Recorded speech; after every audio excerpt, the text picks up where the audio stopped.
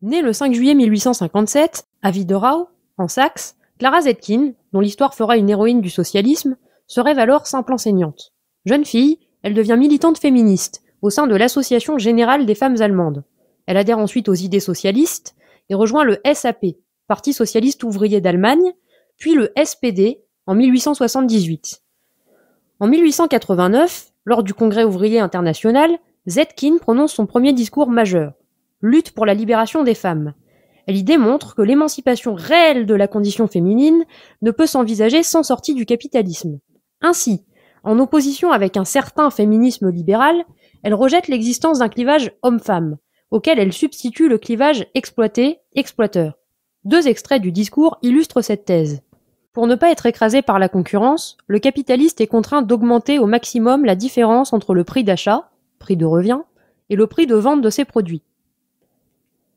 Il cherche donc à produire le moins cher et à vendre le plus cher possible. Le capitaliste a donc tout intérêt à allonger à l'infini la journée de travail et à verser aux travailleurs un salaire aussi dérisoire que possible. Cette politique va exactement à l'inverse des intérêts tant des travailleuses que des travailleurs. Il n'existe donc pas d'opposition réelle entre les intérêts des travailleurs et ceux des travailleuses, mais bien une opposition irréductible entre les intérêts du capital et ceux du travail. L'émancipation de la femme, comme celle de tout le genre humain, ne deviendra réalité que le jour où le travail s'émancipera du capital. L'emblématique Journée internationale pour les droits des femmes, qui a lieu chaque 8 mars, est une idée de Zetkin. Elle souhaite en faire une journée de manifestation annuelle pour l'égalité entre les sexes, le droit de vote des femmes, tout en conservant un regard critique à l'égard de la démocratie formelle bourgeoise et l'essor du socialisme. En 1914, le SPD vote les crédits de guerre. Zetkin maintient ses positions pacifistes et internationalistes. En conséquence, elle fonde avec Rosa Luxembourg et l'aile gauche du SPD la Ligue spartakiste.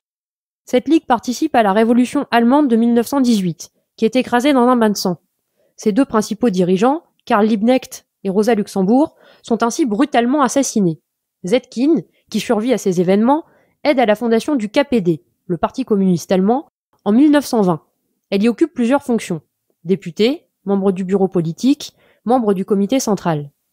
Elle meurt en 1933, à l'âge de 75 ans, après avoir été obligée de fuir le régime nazi, qui persécute, dès son entrée au pouvoir, les membres du KPD.